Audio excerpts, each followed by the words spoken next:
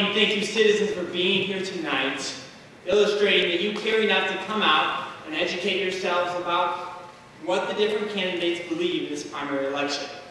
Well, first of all, the first issue I'm going to address, I'm sure is probably a question on all of your minds because it's the question I get most often. How old is this guy? I'm 24 years old, doing what I can do to make a difference by ensuring that this district is represented by a strong conservative leader who will work hard to be in tune and in touch with the needs of his constituents and will represent them in Indianapolis and their views and not just what he thinks.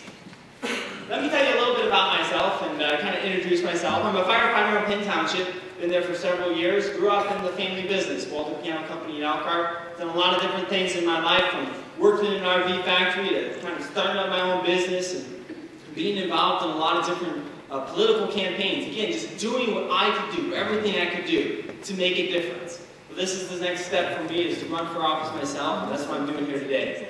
I want to talk a little bit about um, the things that I would like to see happen in Indianapolis.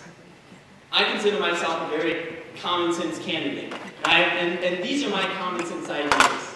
First of all are my basic principles. I grew up in a large family that value family values. I believe the family is the building block of our society, the foundation, something we must defend.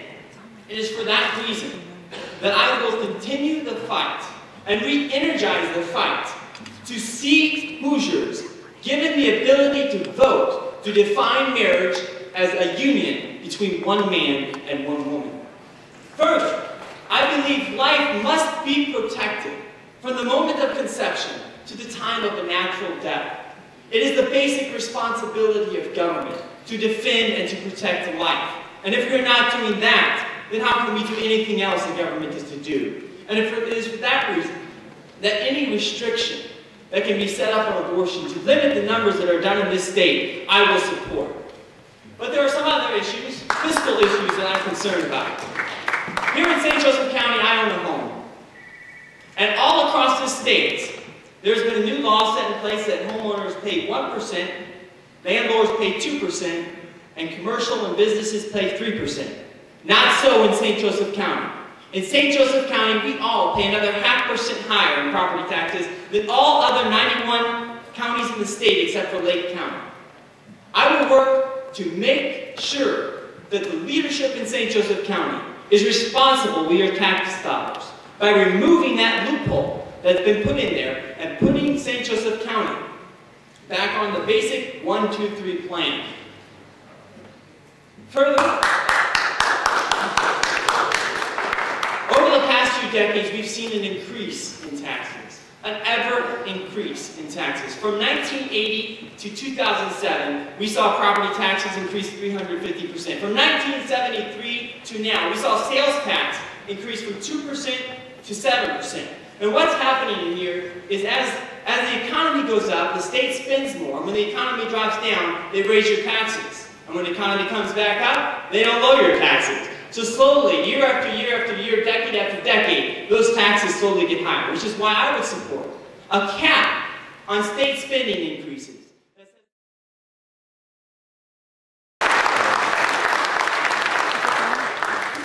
First of all, I'd like to thank citizens for Common uh, Sense for hosting this great event, and uh, for all that they do to raise political awareness and to keep our policymakers in check in our community. Uh, long before the Tea Party movement and the 912 groups, uh, you were up front in having our taxpayer backs. As a policymaker locally, I have stood shoulder to shoulder with citizens for common sense on so many occasions over the past 10 years as we have battled our local variety of tax and spend politicians. Together we have fought the county option income tax, the county economic development tax, the wheel tax, and the local option income tax, just to name a few. Though we were not successful, I stood with you as a leader in getting our word out to our community. And in fact, I was the only local elected official in St. Joseph County to draft a resolution opposing these taxes and the negative impact that they would have on our community. Now, as I go door to across 21st District, it seems that everybody wants to talk about one issue, is healthcare. The healthcare bill. Some will say that it's a federal issue that we can't do anything about it. I reject that position. When this, when this unfunded mandate has the potential to cost every Hoosier $4,400 and to negatively impact our already strained state budget, then it is my job to stand up here and fight on the behalf of Hoosier families. And I will do it. I've already signed a pledge to repeal this health care reform, and I'm also calling on Attorney General Zoeller to join in other states in suing on the grounds that this unconstitutional, unfunded mandate usurps our state sovereignty and that, and also our individual freedoms. When elected, I will seek legislation to exempt and protect Hoosier families from this freedom eroding and economy killing and budget busting uh, bill. Hoosiers can and do better. This type of leadership is not new to the 21st District. We've been blessed to have two of uh, some very fine leaders here serving us for over 40 years. When elected, the Mangus Walorski legacy will have a dedicated and a faithful and determined successor in me. My priorities for our community and for the state include job retention and creation, creating an environment that's conducive for economic growth, reducing taxes and streamlining local government state government, and promoting Hoosier family values. I will work tirelessly, tirelessly to keep Indiana's 21st district moving by working. I have seen firsthand how government uh, regulation and bureaucracy restricts local businesses. In my own profession, I spend a good portion of my time seeing, uh, reacting to the seemingly uh, unending stream of government bureaucracy. Uh, You can count on me to ensure that the 21st district uh, will be a district will, that the 21st district and the state of Indiana is a friendly place for new and existing businesses, and that that I will fight this bureaucracy, which comes at a cost of creating jobs and uh, productivity. Uh, Since you don't gain employees by attacking employers, I will also fight any uh, legislation that emphasizes further government control over, over our business. I believe that we must ease the tax burden on our families. And the same bad legislative uh, ideas that came, that brought about the Louisiana Purchase and the Cornhusker kickback are also, that same type of logic is alive here in the state of Indiana.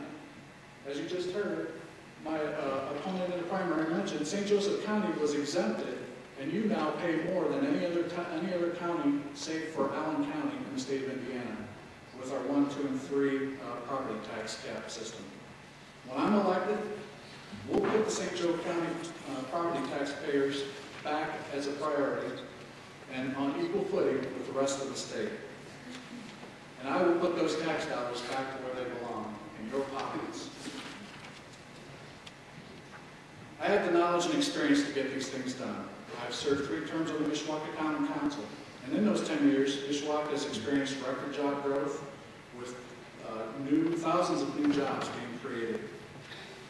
And you also have in Mishawaka a local government that is reduced, yet more efficient, while offering services that are second to none. My passion for our community may not come through a speech, but you will see it in my service, whether at, as, at the uh, community bank, as the community reinvestment officer, on the board of the local Habitat for Humanity, my sixth grade girls basketball team to a Final Four last week, or as I swing a hammer and have built over 25 homes for less fortunate people here and around the world. These are the types of things that I will continue to do, the passions that stir me. And my only motivation is, is to pursue, in this pursuit is to give my energy, my experience, my commitment to serve this community that has given my family so much. These are critical times. We need to send a legislator to Indianapolis that is field tested. And I believe that I am that person. I will go there with the principle, experience, and leadership, ready to get things done on day one. Thank you.